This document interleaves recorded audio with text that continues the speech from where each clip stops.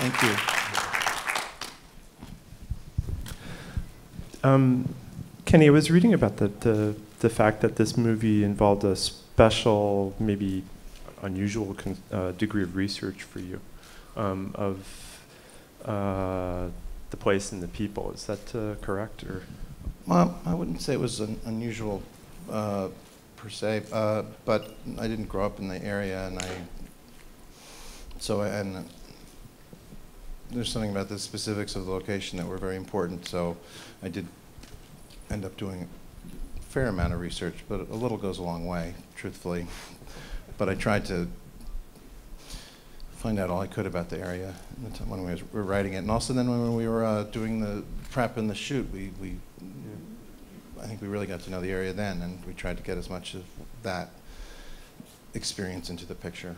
yeah, were you able to use a lot of locals? Was that in, in you know the Well, I'd say most, not most, but not all of the actors that you don't recognize are, are local actors. Um, not all. There's a there's quite a few really good New York actors in there, Mhm. but there's a really good, strong acting community up in Boston, Mhm. and uh, we were able to draw on uh, quite a few of them, which I think Mhm. was really important. One of the things that's really unusual about the film and exceptionally beautiful is the choice of music, and that's something that I guess uh, I wondered where you arrived at that when you were making the movie. Well, that's interesting because I, I had no overall conception for the music, and I only made three movies, so I can't really say what I do. But um, I but I do start out with just what I like, and you try different things against the picture, and there's sort of an instinctive feeling when, when it sounds right and seems to enhance the, the story in some way or enhance the scene in some way. I think with this movie, uh, it was. I noticed that music that worked tended to be very beautiful, and I think that maybe is because the story is kind of rough and uh, very rough in spots, and I, there's something about the very beautiful music that I think, and the there's a somewhat ethereal quality to a lot of the pieces we chose, and to a lot of the pieces that Lesley Barber composed, and those always seem to work best. Uh, and I, I'm not sure why that is. I think it might have something to do with the contrast between the surroundings and the scenery and the beauty of the area and the, the, the anguish of, of uh, the main character's experience. And the size of the emotions exposed in the music matches the. Yeah, I I think so. Um, but it usually just starts from me trying songs that I like. and then suddenly the scene seems to have gone somewhere else in a good way, and you're like, okay, that one works. I, I wanted to ask you just about one scene, and I'm not sure if I, you know, have a specific question as much as if you could just take me through the, the shooting of the scene, which is one of the most extraordinary scenes in the movie when Casey Affleck and Michelle Williams are trying to come to terms at the end and almost can. Um, I, I, you know, it looks like it was something that took a lot of concentration and um, time, and I'm, I'm just wondering if you could just talk about it a little bit. Well, um, I mean, they're both so extraordinary in the scene that it's. I, I mean, I, I can I can enjoy, can appreciate it as much as anyone else without being immodest because they're so their acting is just so good and they're both so full, and they were both very ready to do the scene when we came to shoot it. And I suppose by that time they really understood where the characters were at each step of the story, and I had to say very little uh, directorially uh, to them. I did, we we had rehearsed everything uh, over a few weeks, well before we started shooting. Um, so we discussed the dynamics. We discussed the dynamics of that scene a, a fair amount. And then they showed up, and they just we did a number of takes. We had two cameras, and they were just all the everything. It was all it was all really good. Occasionally, Casey'd say he didn't feel good about this one or that one, but uh, that that's a bit that's kind of what he's like, and uh, it was just a real. It was a pleasure and a pain to pain painful to watch. Uh, and the one thing that struck me. Which I don't know if I verbalized this quite this way at the time, was how, how I, but I think I did because the, I was trying.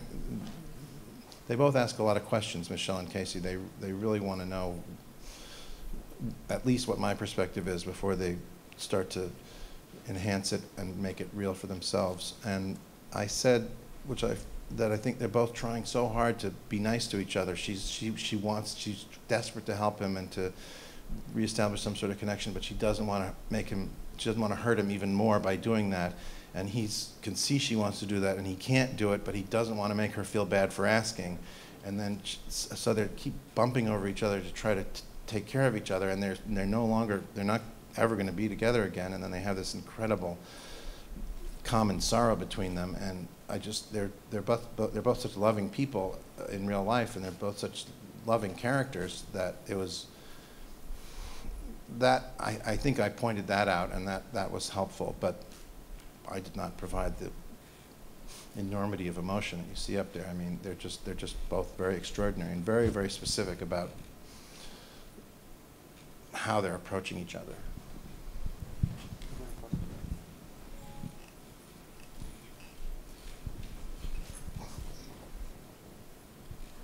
Objects often, is it, is it working?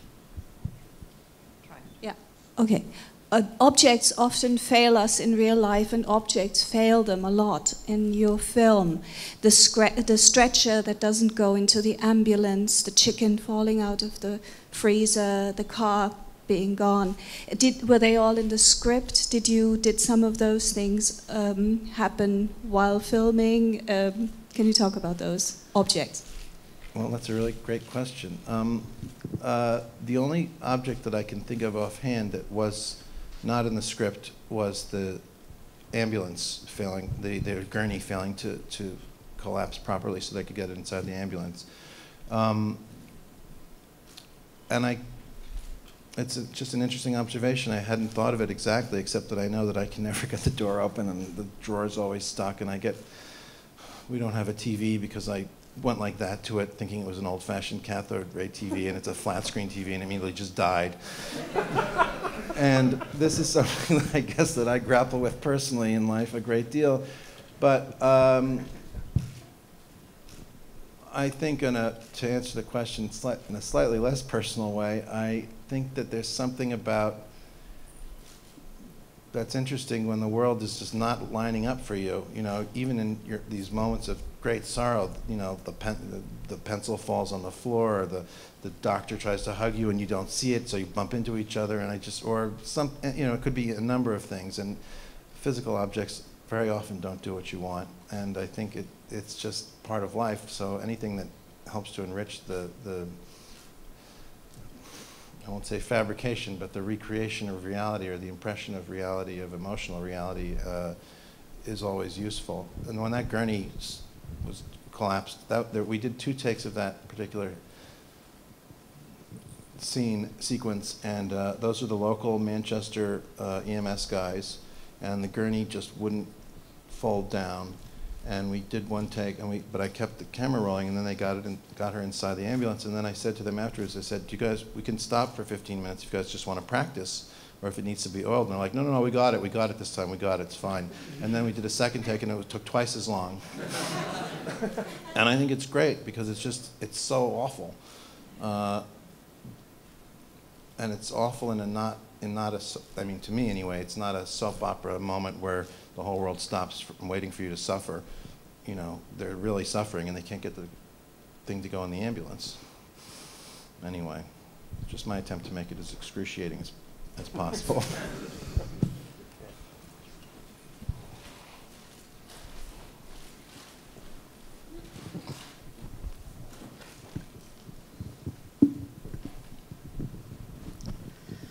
I am so deeply moved by this film. I have to say that at the very beginning of my question. Thank you. thank you Um, you're a storyteller, and I wondered what the difference at the core of, of writing for theater and writing for cinema, and what, what the difference is in the, the desire to tell the story in different mediums. Well, that's that's it's something I think about a lot. It's it's forgive the crummy first part of the answer, but when I think about something that feels like it would be good to write as a play, there's often something that strikes me as being a very theatrical image or a theatrical situation or a theatrical setting, whether it's a medieval France or the as- or classroom of an astronomy professor in New York City or some kid's apartment in the Upper West Side in 1982, just to give a couple of examples. And then for the three films that I've done, there was always, uh, when I, the environment was always a crucial part of it from the beginning. And I think that's the first thing, so, and, and that to me makes it cinematic. I was going to say one feels more theatrical and one feels more cinematic, but that's a meaningless answer. Um, uh, the physical environment and the world that the characters live in are so much better portrayed by uh, exteriors, anyway, by film than by the theater. The theater is really good at creating interior environments, and there are people who are masterful at creating all kinds of environments on stage, but I'm not one of them. I, I, people in a room tends to be, I think, what the theater is best at pulling you in, drawing you into. It's not great at conveying the great outdoors, um, except by suggestion or, or by inference. Um, so I would say that was the first main factor. I always thought of the, my first film, I thought of the small town that it takes place in. My second film, I thought very much of New York City and, and all its immensity. And then for this film, obviously, the sea and the boats and the cold and the New England winter and the architecture. And then following all that in, in, in the train of all those different directions is the people who live there and what they do inside their environment and in relation to it. The- in your visualization of, of either form, is it, is it in your mind's eye, so to speak? Do you see it in your visualization of either form, is it in your mind's eye? Do you see them differently? Yeah, very much so. I, I see I see the in both cases I have I see it in as just real human beings in a real environment and then in the back of my mind I see the film writing as taking place in the context of a film that I'm watching and in the theater it's a I don't quite see it as being distanced from the stage like an audience does but I def- definitely think of it in terms of what's inside the the proscenium whether it ends up being a proscenium or not, but I, that's how I tend to think.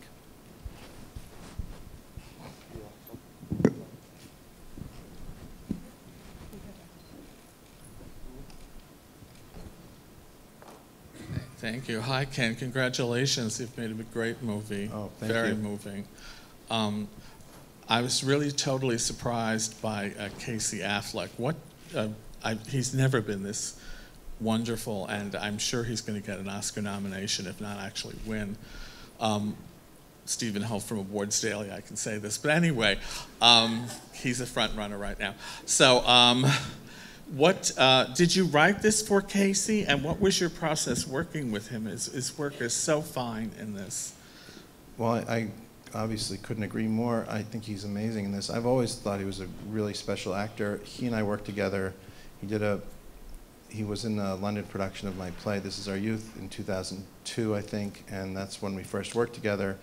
He, we worked together on some readings in New York and uh, a little one act I did at one point uh, downtown with Naked Angels. And he was, initially Matt Damon was going to play the role, and then he, his schedule just didn't work out, and he very graciously uh, told me that, you know, I, we said he, he, he wanted, he agreed to offer the role to Casey, who had been on deck in a sense because we weren't sure Matt's schedule was going to work out, and Casey had already read the script.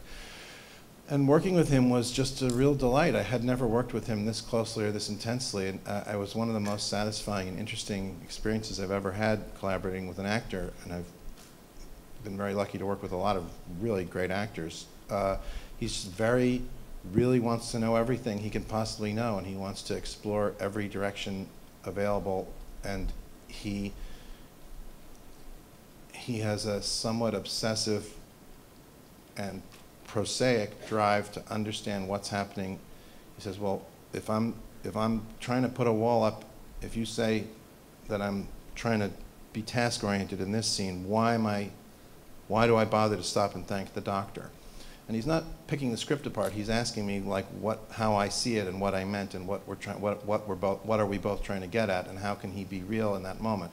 That's one that I always remember because he said this was fairly early on, and he said, "Well, why do I thank the doctor? I don't give a shit about him when he says, uh, I'm sorry for your loss." And I didn't have an answer, but it felt right to me that he would say thank you. So I thought he makes you think about what you wrote and what you're trying to, what you see is the reality of, of the story and of the situation. And I said, I think he doesn't skip past anything. I think he stops and does what's right in front of him.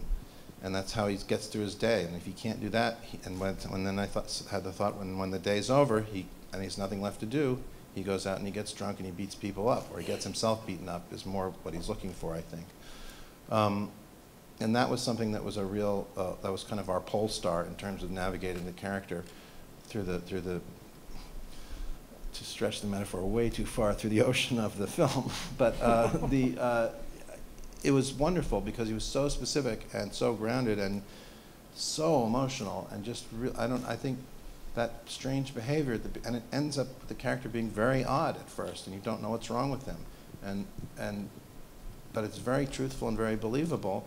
And then when you see somebody, he, then you talk about, sorry if this is too long of an answer, but then you talk about these, uh, occasionally when he meets somebody that he likes, like the girl uh, whose toilet he fixes, uh, played by Quincy Bernstine at the beginning of the film. And you could, and, I, and we talked, he says, I'm nicer to her. And I said, well, I think you want to ask her on a date, but you're not going to do that because you don't get involved with people anymore. And there's that moment at the door, which is nonverbal, but we've all this, we, we had discussed, and he, and I, he said, why do I, I don't, he had a lot of trouble with that line he has where she says, can I give you a tip? And he says, do you mean a suggestion? and he said, I don't understand that. And I said, he said, I think it's really funny, but I don't know how to say it. And I said, I think you're in such a distant place from everyone that it makes you not understand normal conversation because you're so trying to control your interactions so much because you don't want to have any more real interactions because of what you've been through. And he said, okay, that's sort of helpful. And anyway, so it was like that the whole time, but really fun and interesting because we got to a whole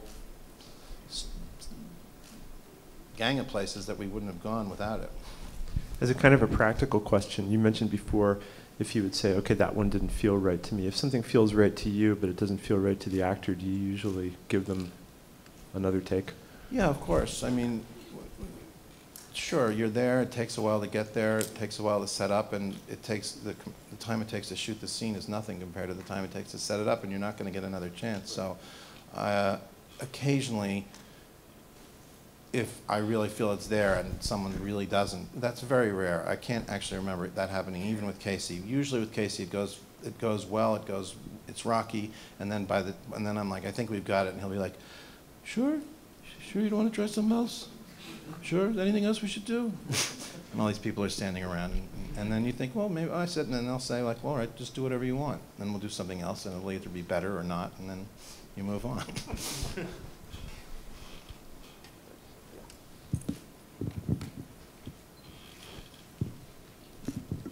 Thank you very much. I didn't expect to cry so much. Um, I was just wondering, another Casey Affleck question. I know he's from that area, so did he help out with the other actors in terms of their accent? And did he help you find locations? No and no. Uh, he's very generous with the other actors as an acting partner, and he was very helpful and encouraging with Lucas. And he's wonderful. To, and when any child wanders onto the set, he's incredibly warm and fatherly and and chummy. Um, but he he let the other actors deal with their own accents, and we had a locations person, who, and he had plenty to do without without chipping in on that score. It, it's a tough accent to do, and it's done beautifully, you know, uniformly. Well, we had a really, really great accent coach, and, we, and the actors, most for the most part, have really good ears, and, and a lot of people are from the area. So I hope, I hope so. We tried anyway. A microphone down here. As sort of a follow up uh, with Casey and Lucas's relationship, it seems so incredibly organic, and obviously that has a lot to do with your with the dialogue. But um, did they spend a lot of time together prior? Um, and was there any improvisation involved in any of their conversations? Um, they're- didn't spend any time together prior except for a little rehearsal time. Um, the way their schedule, pre, pre-production schedules worked out, they actually had less rehearsal than most of the other cast had with each other. And I mean, then the two of them just never were available at the same time until the very end of the prep. But they spent a lot of time together in that car between takes and driving around and around and around. And, and a lot of that work was done early on in the process, and I think it was very helpful for both of them. And by the time we, we were kind of in the swing of things, they, were, they had really developed a, a wonderful uh, relationship. And uh, I, I, I, I mean, I think it comes through. There was no improvisation that I can remember. Um, there's a couple of moments, but I mean, I say that boastfully, but th- then I occasionally watch the movie and I'm like, oh, I didn't, I didn't write that. but for the most part, it's all scripted.